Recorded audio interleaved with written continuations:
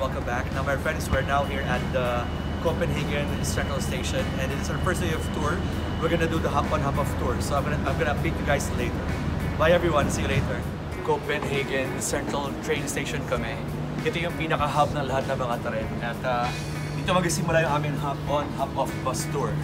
So I'm gonna tour you around the Central Station kasi napakaganda niya. Reminds me of Grand Central, Central Station sa New York. Nabulolo pa ako. Anyway, see you guys.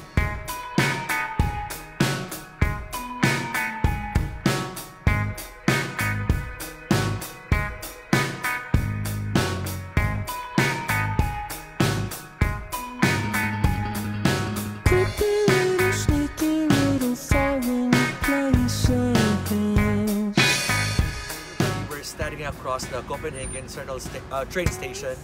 At uh, dito, isa sa mga talagang uh, bagay that would make Denmark sustainable would have to be their mode of, mode of transportation.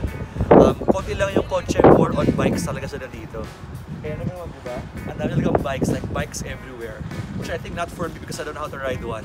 But anyway, nakaka-believe talaga na lahat ng tao dito talagang bike ang ginagawa nilang transportation. Kaya medyo um, mainis ang hangin, uh, wala masyado mga carbon footprints yung mga tao dito. So yun, one thing I like about Denmark. So hi everybody. Um, talagang napaka-bright na idea na mag-hop on, hop off bus kami. Kasi at least uh, could go to our favorite destinations na talaga namang walang hassle. Kasi medyo mahal ang uh, transportation dito sa, sa Copenhagen. Actually, hindi medyo super mahal. Like isang train na 3 stops lang would cost you around 10 US dollars. So medyo mahal yun. Anyway, so hop on, hop off bus ay highly recommended para sa mga mga Copenhagen. I think yun yung pinaka-bright thing na gawin. Plus, meron meron kami nakuha pa ng deal na 2 days may free 1 day. So talaga naman, best you've ever done.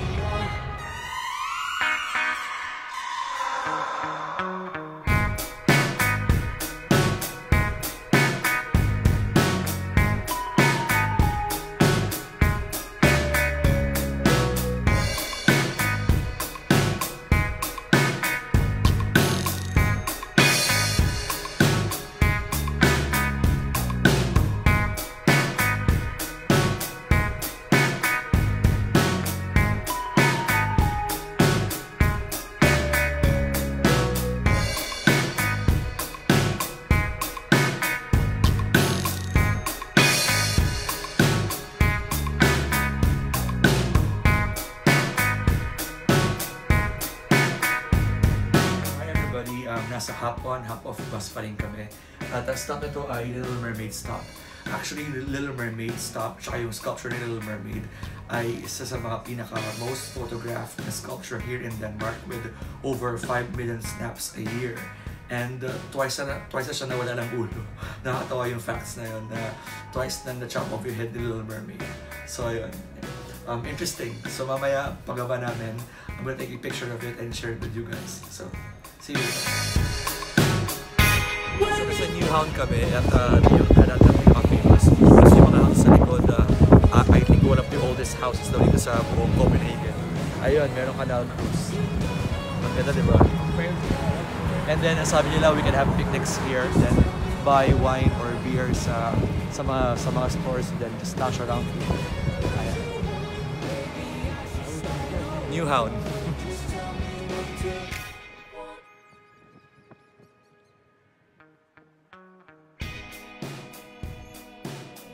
hi everybody, we're back here in New Hound and uh, this time not by bus but by boat. Uh, we are now on our cruise trip and I think this, this will run for an hour or so. And it's kind of cold right now pero enjoy naman. Saya. Maganda, super. What you want?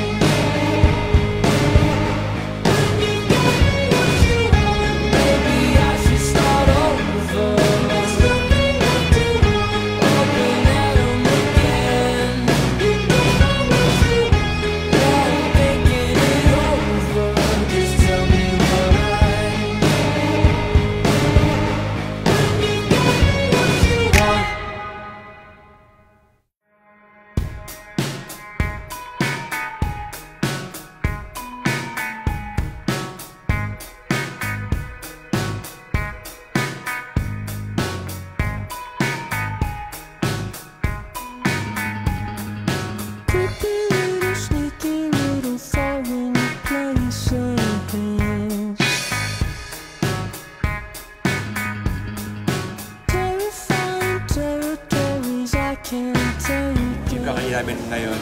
Schmorbrod ang tawag, pero sa English, open-faced sandwich. So, ayan. Ah, so, ang dami niya mga ingredients. Ang pinaka gusto ko is yung aratilis. so, may meron pa siyang bulaklak. At ang sabi lahat na ito edible. So, we need to eat everything. So, ayan. Open-faced sandwich. At syempre itong ah, Danish ah, meatballs. Ah, mukha naman siyang masarap. So, try natin. Danish meatballs. Uy, lambot. Isa pa.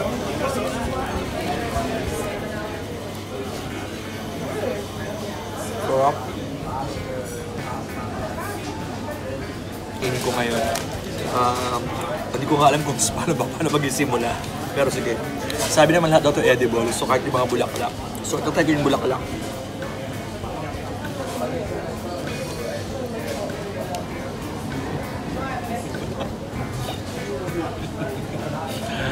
Lasang bulaklak. so syempre yung alateris. Alateris, alateris.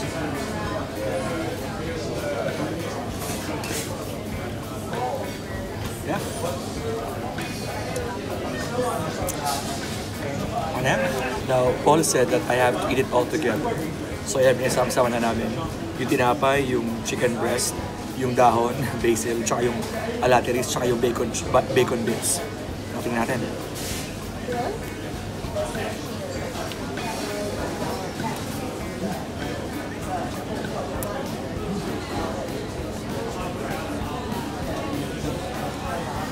Sarap siya. Tapos parang yung panagat mo yung alatolis, parang sumasama sa loob. Sarap, sarap textured. Sarap. Kaya naman, we will try the Aperol Spritz. Uh, alcoholic daw siya. Hindi ako umiinom. So, pero, di ba? Try ko na rin.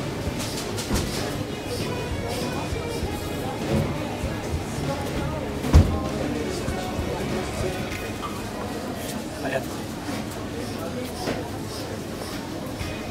So guys, one of the reasons why we came here for art.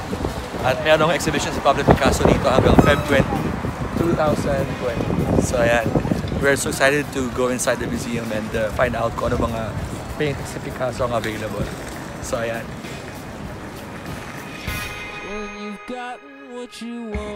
So, hi everybody. So, last year namin ngayon sa Copenhagen and uh, talagang napakarami pang pwedeng gawin. And one thing I love about this city is that ang dami niya mga open square na talagang pwede kang mag-lounge around. And uh, perfect weather, lalo na kung prepared naman yung damit mo. Um, uh, ano pa ba? Tsaka talagang dami nakabike. Talagang napaka-sustainable at environment friendly ng lugar na to. And I love it. Talagang uh, feel na feel mo yung, yung lugar. So I hope you can visit Denmark very, very soon.